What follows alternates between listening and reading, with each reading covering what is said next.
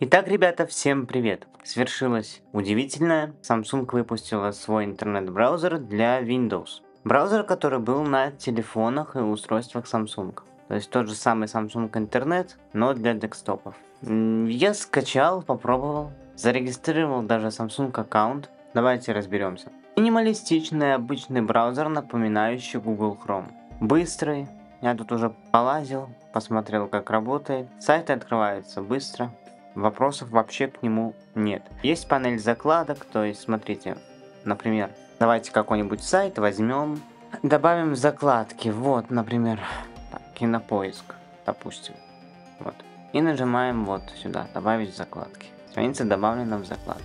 Тот же Яндекс, ну, страница добавлена в закладку. То есть у нас есть Яндекс, есть Кинопоиск, сразу он все открывается. Любые сайты, ВКонтакте, допустим, оно, оно найдет, то есть вот, добавить закладки.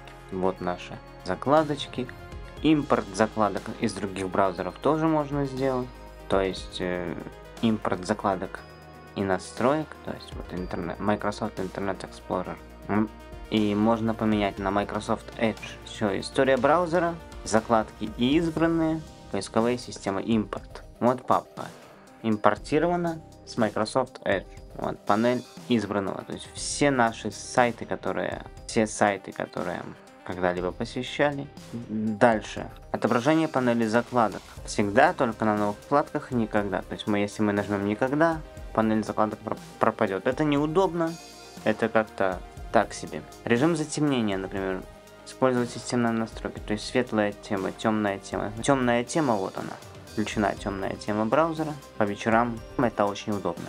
Вечером, чтобы глаза не болели. Я буду использовать системную тему. Судя по всему, здесь можно ставить расширение из интернет-магазина Chrome. Но это мы еще посмотрим, я потом сделаю короткое видео Shorts, покажу, работает это или нет.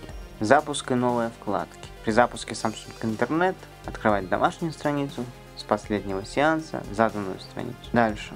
Панель конфиденциальности, то есть блокировки рекламы, то есть все есть у нас здесь. Личные данные о то есть профили, пароли, сайты. Это разрешение, файлы куки, управление данными. Загрузки это загрузки. Место сохранения файлов можно поменять. Спрашивать перед загрузкой. Браузер по умолчанию. Можно выбрать по умолчанию. Где у нас Samsung интернет? Вот он. Нажимаем. Оп. Задать по умолчанию. Задать по умолчанию. И задать по умолчанию. То есть все сайты можно задать по умолчанию. Производительность оптимизация памяти, то есть тут все для людей. Языки русский, английский, это пользовательский интерфейс. Специальные возможности, сброс, это сброс всех настроек, дополнение.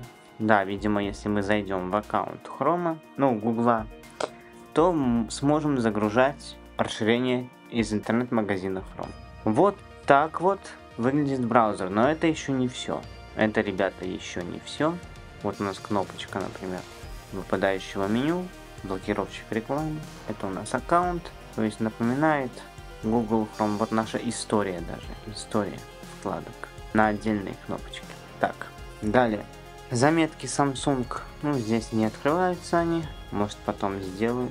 Из интересного, Samsung Cloud, Cloud Assistant, это у нас облако. Далее, Samsung аккаунт, настройки аккаунта, то есть как-то так. И Samsung Gallery, то есть галерея, фото, видео. Есть настройки такие, куда сохраняем тоже светлая, темная темы.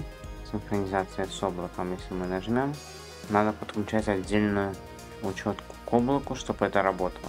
Мое личное мнение, я перейду с Microsoft Edge на Samsung Internet, как на основной браузер, просто попользоваться, посмотреть. Первое впечатление отличное, мне понравилось. Рекомендую попробовать перейти. Ссылочка будет в описании под этим видео. Лайк, подписка, комментарий.